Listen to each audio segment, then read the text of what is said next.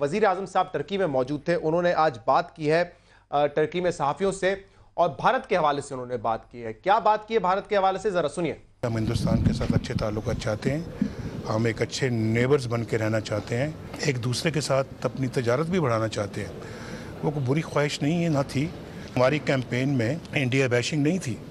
और उसके बावजूद आप देखें कि कौम ने हमारे मैनिफेस्टो पे वोट दिए हम, हमें। तो हिंदुस्तान में कई मरतबा पाकिस्तान बैशिंग होती है इलेक्शनों में। लेकिन हमने इस रवायत को ख़त्म कर दिया है, जो कि अच्छी बात है। आज भी हमारी यही ख्वाहिश है और हम नहीं समझते कि हमें एक दूसरे के खिलाफ साजिश करनी चाहिए। वजी अजम साहब टर्की में सहाफ़ियों से बात कर रहे थे, जो स्टेटमेंट दिया, बिल्कुल दुरुस्त स्टेटमेंट था। नेबर्स से ताल्लुकात अच्छे होने चाहिए, भारत से हमें ट्रेड भी करना चाहिए। आ, ये भी जर, बिल्कुल ठीक है कि सियासी पार्टीज़ पाकिस्तान में जब वोट मांगती हैं अवाम से तो वो एंटी इंडिया वोट नहीं मांगती। इंडिया में ऐसा होता है हमारे यहाँ नहीं होता है। लेकिन सवाल ये पैदा होता है कि इस वक्त ये बयान देना ख़ासतौर पर जब इंडिया की इन्वॉल्वमेंट पाकिस्तान में है दहशतगर्दी के हवाले से जिसकी निशानदेही दो दिन पहले चीफ ऑफ़ आर्मी स्टाफ कर चुके हैं और ये भी कह चुके हैं कि कुलभूषण का पाकिस्तान में पकड़ा जाना इसका मुँह बोलता सबूत है कि इंडिया पाकिस्तान में इन्वॉल्व है।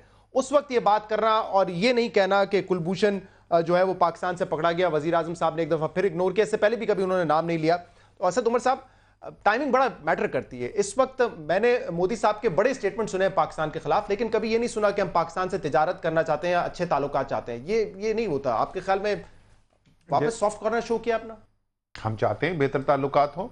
पाकिस्तान में सियासत जो है भारत दुश्मनी की बुनियाद पर नहीं की जाती है। ये इब्तदाइया ठीक था। लेकिन उसके आगे उनको ये तो कहना चाहिए था कि हम ये चाहते हैं। लेकिन नरेंद्र मोदी साहब की सरकार जिस दिन से आई है, पाकिस्तान के अंदर एलानिया दहशतगर्दी करा रहे हैं। छुप के नहीं वज़ीर आज़म उनके अभी जो कैंपेन कर चुके हैं, पिछले महीने इलेक्शन के अंदर उन्होंने खड़ा के कहा है, पाकिस्तान का हम पानी बंद कर देंगे। तो इनका भी, इन बातों का भी ज़िक्र करना चाहिए था और साथ साथ वज़ीर आज़म को यह भी कहना चाहिए था कि चाहते तो हम हैं कि बेहतर ताल्लुकात हों, लेकिन हमें कमज़ोर ना समझा जाए।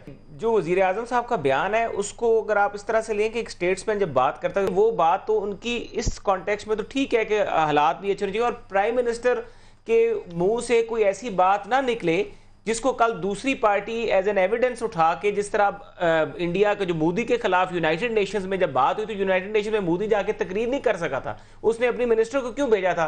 बिकॉज़ मोदी की ऑन रिकॉर्ड ऐसी स्टेटमेंट्स मौजूद थी कि वो उस पूरी इंटरनेशनल कम्युनिटी को फेस ही नहीं कर सकता था जाके।